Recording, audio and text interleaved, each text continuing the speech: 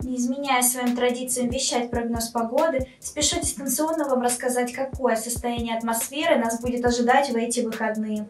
В субботу 4 апреля ожидается комфортная погода, небо с прояснениями.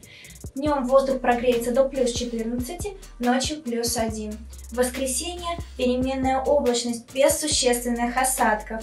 Дневные часы плюс 10, в темное время суток столбик термометра опустится до нуля. Во время карантина будьте предельно аккуратны, сидите дома и берегите себя. Искренне желаю вам и вашим близким крепкого здоровья. Я тем временем буду соблюдать диванный режим.